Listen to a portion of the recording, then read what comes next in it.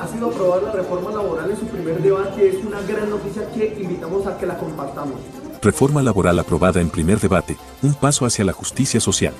Honorable representante, gracias, porque ustedes han cumplido y le han dado la oportunidad para que Colombia honre los compromisos internacionales. La reciente aprobación de la reforma laboral en su primer debate representa un hito significativo en la búsqueda de la equidad y la justicia para los trabajadores en Colombia. Esta reforma, defendida con fervor y respaldada por el presidente Gustavo Petro, aborda diversas áreas críticas que han sido fuente de desigualdad y explotación laboral durante décadas. La reforma introduce el contrato a término indefinido como estándar prioritario en las contrataciones, promoviendo así la estabilidad laboral.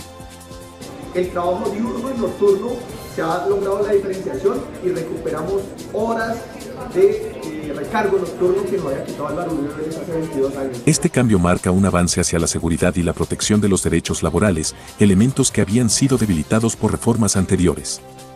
El establecimiento claro de la diferenciación entre trabajo diurno y nocturno y la recuperación de las horas de recargo nocturno, eliminadas por Álvaro Uribe hace 22 años, son pasos firmes hacia la justicia laboral.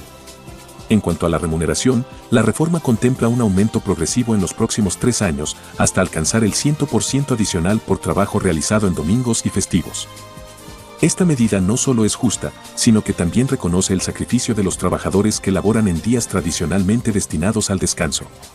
La juventud trabajadora también se ve beneficiada por esta reforma, ya que se ha reintroducido el contrato de aprendizaje laboral, que asegurará que los jóvenes reciban al menos el salario mínimo y las prestaciones sociales.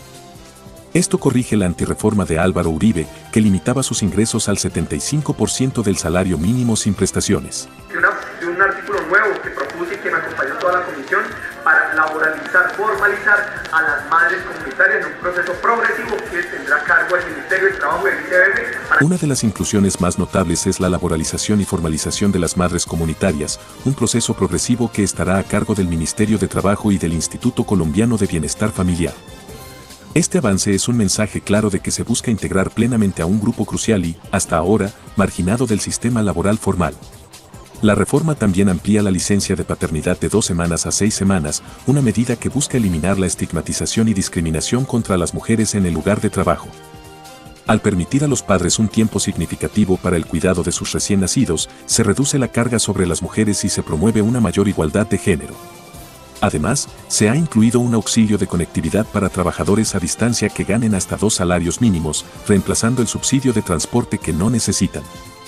Para aquellos que ganen más de dos salarios mínimos, se ofrece la opción de un subsidio para el pago de servicios públicos, una innovación que refleja el compromiso con la equidad y el bienestar de todos los trabajadores. Finalmente, se destaca la inclusión de contratos firmados para el trabajo doméstico, un sector históricamente desprotegido y explotado. Esta medida es un paso crucial hacia el reconocimiento y la valorización del trabajo doméstico, asegurando derechos y protecciones que han sido negados durante mucho tiempo. El presidente Gustavo Petro y su administración han mostrado una determinación inquebrantable para avanzar en estas reformas, enviando un mensaje claro de que el país está comprometido con la justicia y la equidad laboral.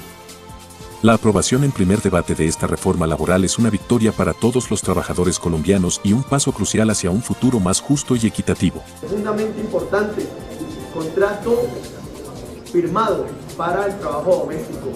Esto es algo muy importante y estamos diciendo el país que estamos cumpliendo, que estamos avanzando. Y ayúdenos a compartir este mensaje a todo el país.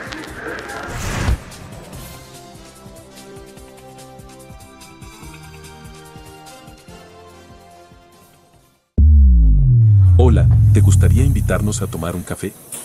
Una forma sencilla, pero significativa de mostrar tu apoyo y ayudarnos a continuar creando contenido es a través de una pequeña donación. Puedes hacerlo a través de Neki. 322-935-0646. Recuerda, no importa la cantidad. Cada café cuenta y es profundamente apreciado. Gracias. Gracias.